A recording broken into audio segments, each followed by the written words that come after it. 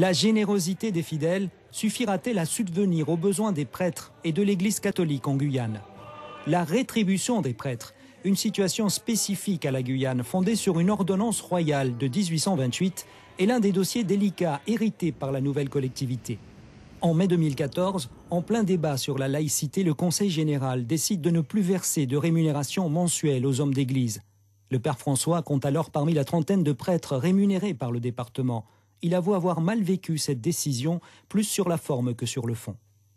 Nous avons été très éprouvés par tout ce qui s'est passé, surtout sur la manière dont les choses se sont produites. Bon, c'est comme ça que l'homme agit quand il veut, effectivement, euh, manifester sa puissance. Mais pas grave, Dieu accompagne toujours ses enfants.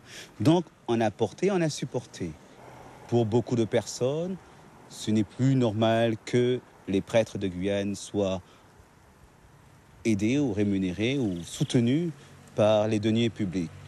Ok, nous entendons cela, seulement il faut se rappeler un peu l'histoire et bien, savoir dire merci à chacun. Aujourd'hui, le denier de l'Église, principale ressource reversée au diocèse de Guyane, représente à peine 17% de son budget annuel. C'est moitié moins que la moyenne nationale. Mais le Père François n'est pas inquiet pour autant.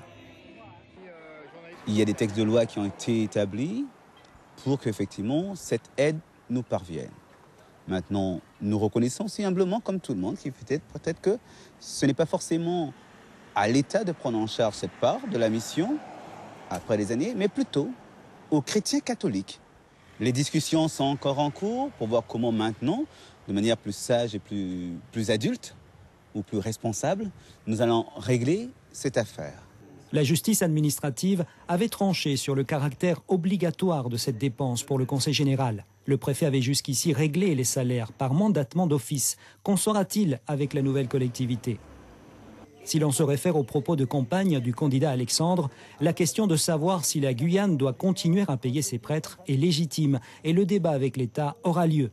Mais juridiquement, les prêtres assimilés à des fonctionnaires doivent être payés. La CTG devra en débattre. La première assemblée plénière est fixée au 18 janvier prochain.